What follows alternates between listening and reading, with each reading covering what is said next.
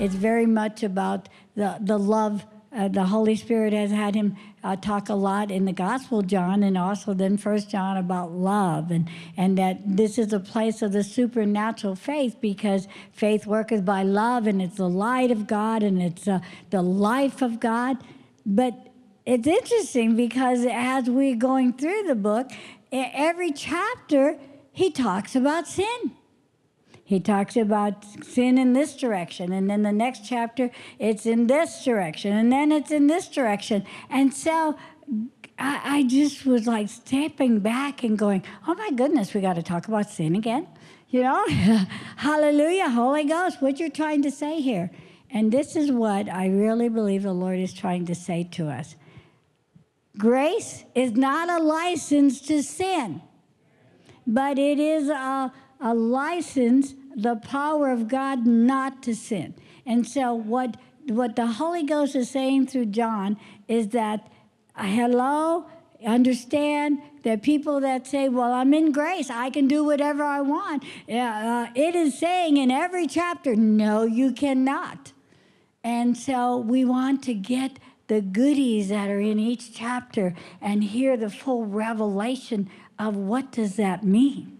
You know, grace gives you the power and the ability not to sin. We're not under the old covenant of the law, but we're under the new covenant of what Christ has already done. And so we have the power and ability to be free from addiction, to be from free from generational situations or, or infirmities and, and uh, uh, poverty and, and all those kind of things that is a curse. The Bible says he became a curse for us in the new covenant. We know that. And that he took care of our past, present, and future sins paid for it in full and and he bore it all god couldn't even look at him on the cross because he saw us and our undoneness on him but praise God, through the death, burial, and resurrection now, we are free now. We're in a new covenant, but now in the new covenant, we enter into the Sabbath rest. We enter into the rest of the Word. We enter into what Christ has already done, and we allow that to have dominion in us and flow through our lives that we're taking on what He freely gave us. And so uh, so uh, John is saying this here by the inspiration of the Holy Spirit. Uh, verse 4 through 7 says, Whoever commits sin, and now that word there, some translation says, whoever practices sin. They willfully practice sin, right? Is uh, commits lawlessness, and sin is lawlessness. We know that he was manifested to take away our sins, and in him there is no sin. So we recognize that Jesus had no sin, but he became our sin, and so that he would take away our sin, past, present, and future sin, paying them in full and free us from, from them in our lives. And so when I think about this, as I was thinking about it, is that, that, that he manifested himself. So when the Word of God, because in the beginning is the Word, the Word was with God, and the Word was God. And when He manifests Himself, it, it is that that Word becomes revelation to us in the moment. It becomes alive, it becomes Rhema, and that Word is all powerful. And in that area, God is saying to you, We're taking a journey here now. And so I receive that word then because he's manifested that situation that when they see me in that area, they see Jesus. But I receive that word. And when I receive that word, guess what? That word now, as I receive it and I embrace it and I bond to it and I meditate on that revelation that He's just given to allow it to become a part of me the Bible says, humbly accepting that word that is planted in you that'll save your soul. But when I do that, then anything in me in the soul area disagrees with that word. Because, see, in my spirit is born again. There's no sin in my spirit. But guess what? In the soul, there is baggage, there is situations. We know that. And so that word comes in and it begins to now uproot and reveal to me the things that are contrary to that word. And so I'm able to fix my eyes on that revelation, meditating on it, and saying, God, take yeah, i call that sin. I don't want that junk in my life. I don't want that that's that's contrary to your word and what i'm seeing in the revelation of you. Take it out and then wash me in the blood of jesus and fill that area now with that revelation. Let it have dominion in me. The bible says this in 2 corinthians 3 16 and 17 god all scripture is god breathed it's the breath of God, one translation says, and it's profitable in me to teach me now. That scripture is going to teach me now. To rebuke me, to rebuke me, to correct me, and train me in righteousness, that I be fully equipped for every good work. So when I get that revelation, then I want to now meditate on that and let that word now um, uh, teach me, train me, correct me, rebuke me, transform me, that I be equipped for what He's trying to do in my life. And so that's what I see this manifestation when He says He manifests to us to take away, hallelujah, all of our sin. But there's those moments when He just manifests to you personally in, in a scripture and brings life to that. So it goes on to say this Whosoever abides in him does not sin.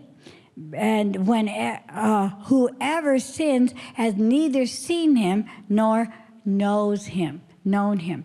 And so, what that word there is, just looking it up in the Greek, is this that it is somebody that, okay, deliberately sins. They will to sin. You know, you have a free will. They will to do it. They knowingly do it, and they habitually do sin. And so God is saying that person that makes that willful decision in their heart to say, Oh, I'm going to go do this. I don't care if God says it's wrong, I'm doing it. God says that person doesn't see me that word is not alive. They're in darkness. They're, and they don't know me. Hallelujah.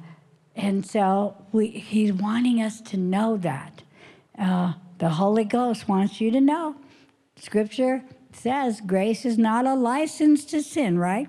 So he goes on to say, little children, let no one deceive you. So don't let anybody deceive you. He who practices righteousness is righteous yet just as he is righteous.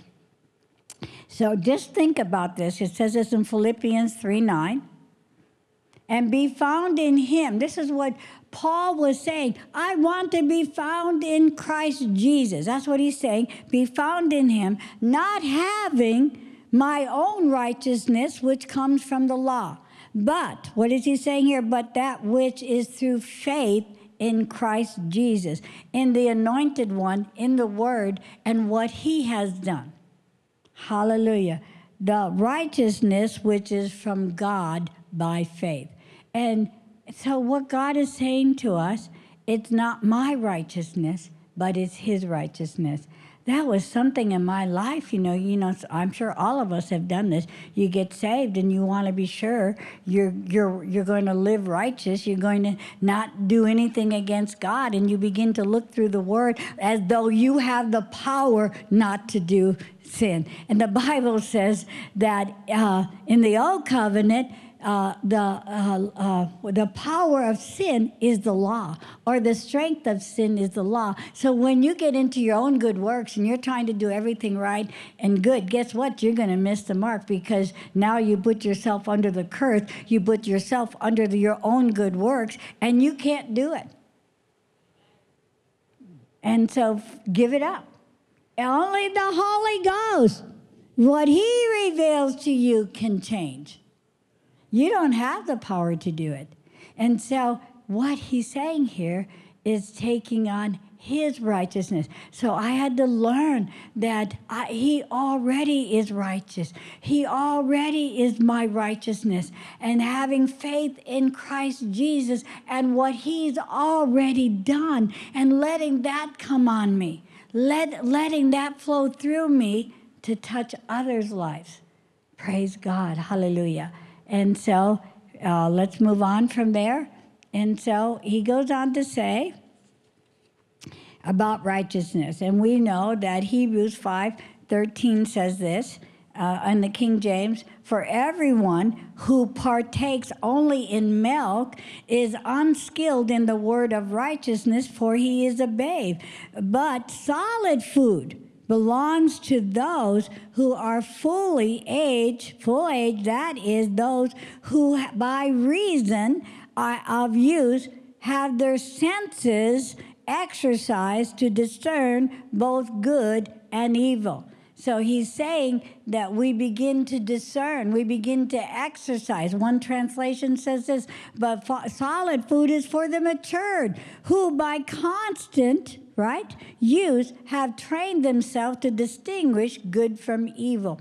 And so we, we see here that as he's talking about getting into those, getting into the meat of the word, getting into the steak of the word, digging down deep, studying to show yourself approved, a workman that needeth not to be ashamed, but rightly dividing the word of truth and being able to discern. The Bible said love always discerns.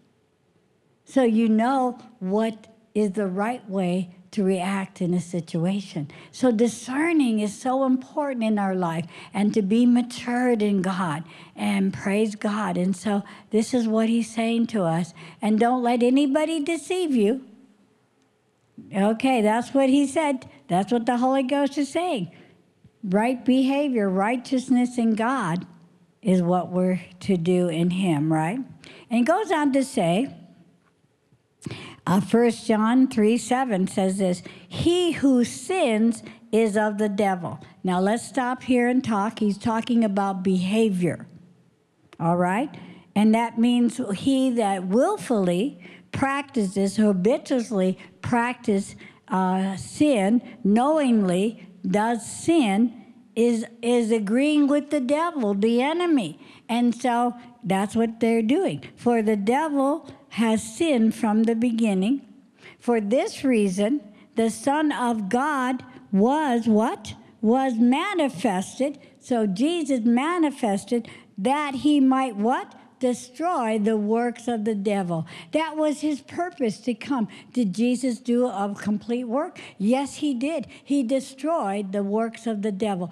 So his purpose was he came to this earth to destroy the works of the devil, to take to free you from the bondages, the prisons of the enemy, the curse, the, the, uh, the, um, the, the sin, the addictions, the abuse, the things that have locked you away and put you in a prison. Jesus came to set you free and to destroy his works, and he did it. He did a complete job. And so we need to live in, in the kingdom of God where now we're in fellowship with him. We're a child of God. We are citizens of heaven. We dwell in the kingdom of God, and everything that is God's is now mine. And what he provided for me. Hallelujah. And so, you know, uh, looking at this scripture, let's break this down. Let's think about this, okay? Knowing John, by the inspiration of the Holy Spirit, is wanting us to know that grace, again, is not a license to sin. If you free will choose sin, your heart wants to go do that, then that's not grace, all right? But grace covers us. God looks at the heart. That's what the Word of God tells us. That in 1 Samuel, man looks at the outward appearance, but God looks at your heart. He looks and sees what you want to do. And in there, grace covers. God then is patient to give you the time to walk out of an addiction. He's covering you. He's not condemning you. He's not shaming you. He's finding fault. He hears your heart, your desire not to do that, not to drink that alcohol again and, and be an alcoholic, not to take that drug, not to do the acts of the sinful nature, not to not to do the things that the Bible says is wrong. I don't want to do it no more, but I keep seeming to fall. what do they call that? I fall off the, the whatever, the wagon. There you go. I fall off the wagon. And God says, That's okay. I'm looking at your heart. I'm patient. And there'll be a day when it'll, it'll be all the way gone and that won't happen again. So grace covers. So we have to know when we're reading this, he's talking about somebody's heart that says, I want to do it. Okay? And uh, I, wa- I want to. I don't care. That's what he's talking about there. And so I know my own life, this has helped me so much in my life because I never wanted to hurt the heart of God, even before I got saved. And so I was so hard on myself oh my goodness, every time I missed a mark, I was just condemnation, guilt, shame, and oh my goodness. And, you know, Dr. Tom, you know, he's so good. He goes, now, honey, stop. Okay, this is a good thing of your heart, okay? But the, the devil is using it against you. So, did you want to miss the mark there? No, I don't. Well, that's what God sees. And so you need to see that. You need to stop the condemnation, guilt, and shame and know you're imperfect. And so God looks at the heart, and that's it. He's not holding it against you. Wow, hallelujah. We have to learn this. We don't need to be religious like Jesus had to deal with these religious people.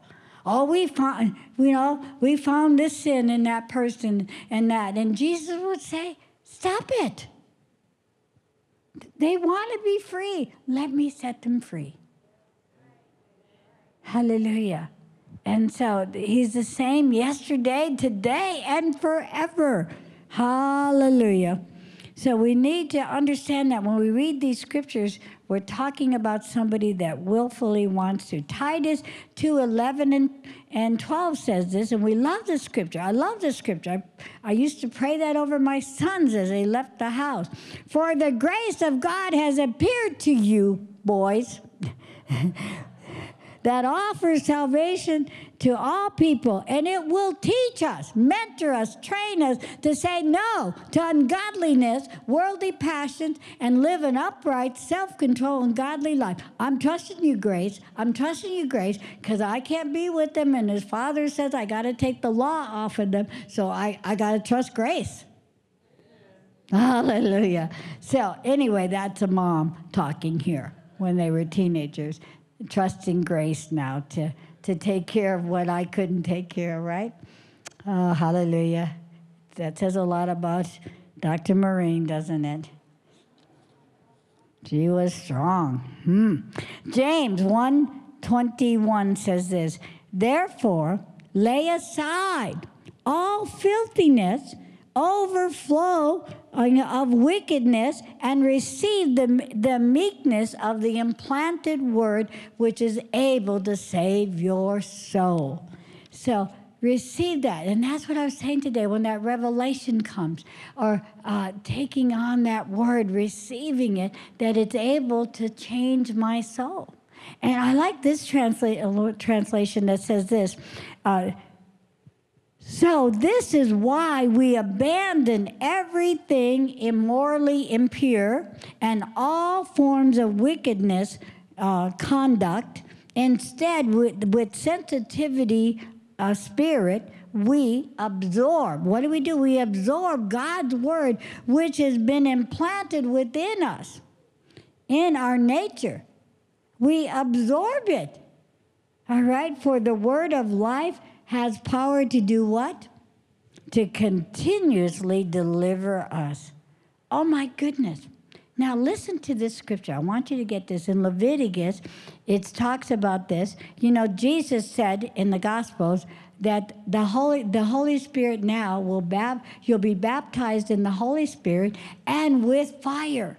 So there's a fire that is to be burning in our heart. And let's look at this. What does it say in Leviticus? Because you know the Old Testament is a picture of the inward working of the new covenant. And so in Leviticus 6:12, uh, the Amplified says, "The fire on the altar shall be kept burning, and it shall not be allowed to go out." You are the priest now. You're to keep that fire, that passion burning within your heart that, that Jesus said. Jeremiah 23 29 says this Is not my word like fire that consumes all that cannot endure the test, that, can, that is not of God?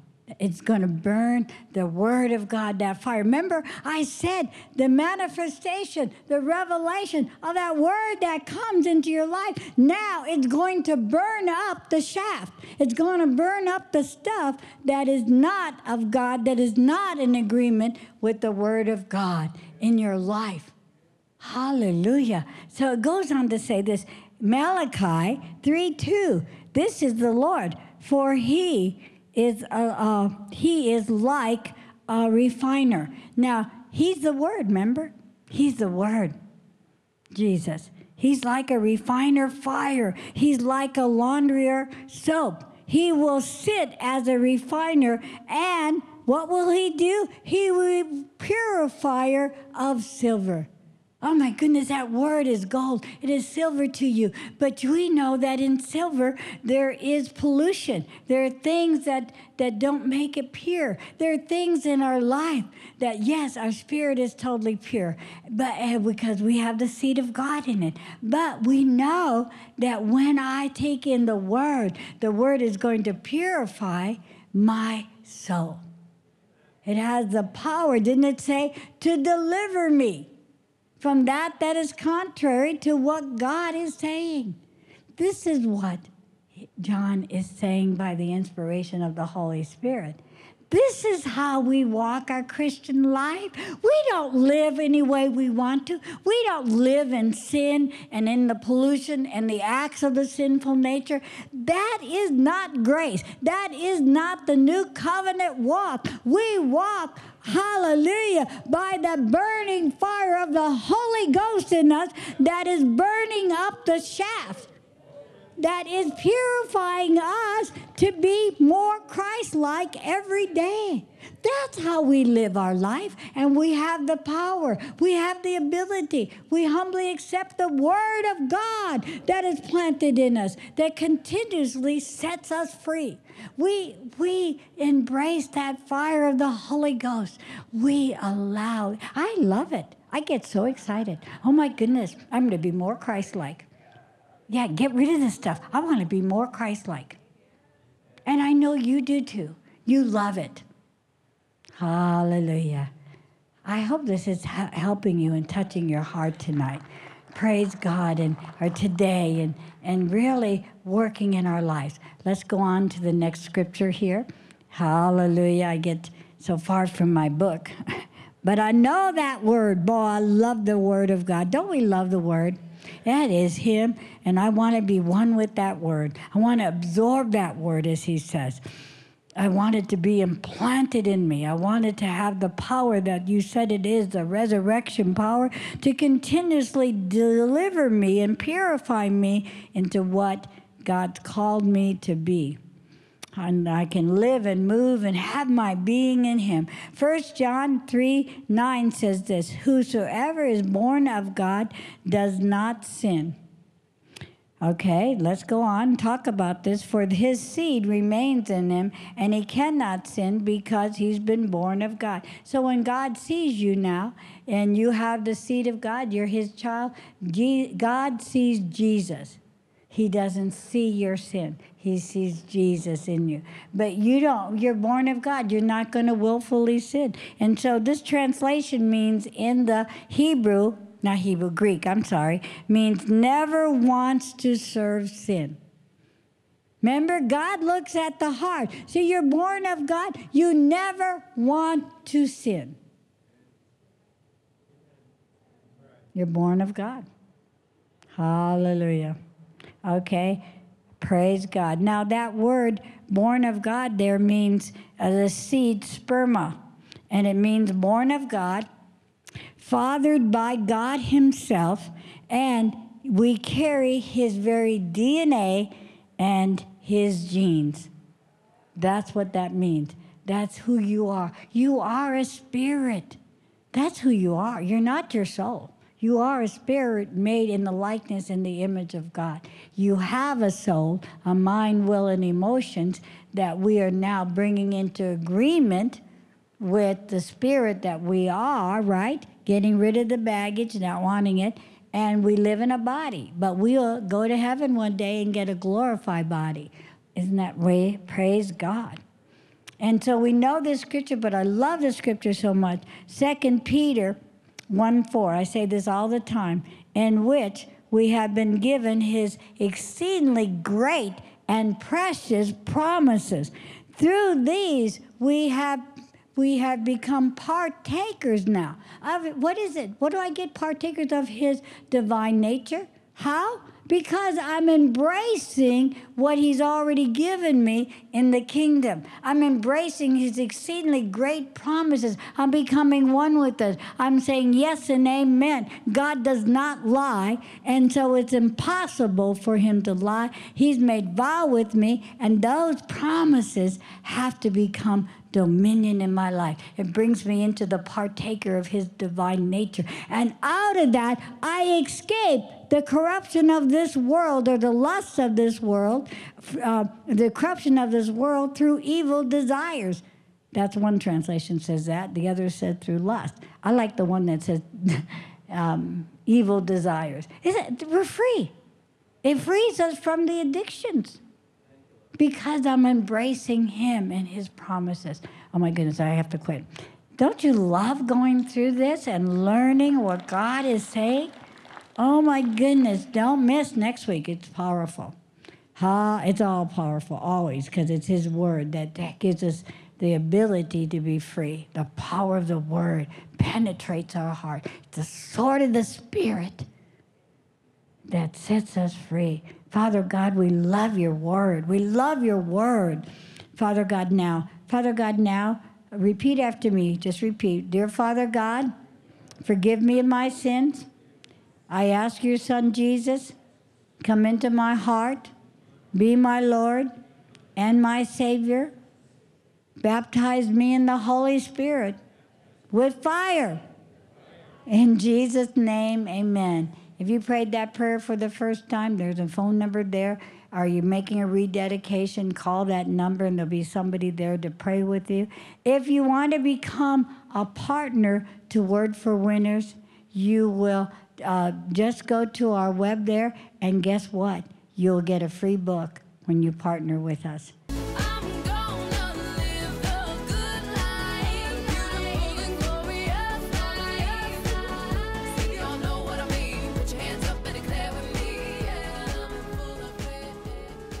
Hi, my name is Camille, and I've mentored under Dr. Maureen for years. Uh, she's taught me everything I need to know about children's ministry, and it's just been such an honor. She's so incredible. Her heart for people is unlike any that I've ever seen. Uh, it's been just such an honor, and I'm so grateful for her and her mentorship and her wisdom in my own life.